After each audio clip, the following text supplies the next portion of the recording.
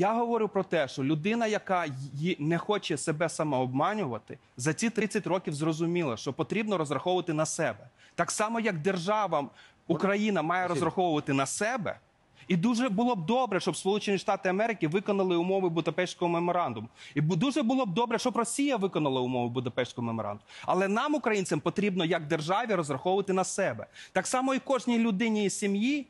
Бажано, щоб держава стала краще. Бажано, щоб пенсійна реформа була зроблена. І з часом це буде зроблено. Але через демографічну проблему це не буде зроблено за рік чи два за три.